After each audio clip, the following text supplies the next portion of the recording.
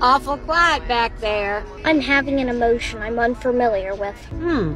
Think it might have something to do with your new classmate? It's possible. She's the only variable in the social equation. So what are you feeling? My face is hot, I have a knot in my stomach, and I'm resisting the urge to kick your seat right now. I'm thinking it might be jealousy. No, that's not in my nature. All right, let's go through all the emotions. I'm looking at your face, so I'm going to rule out happy.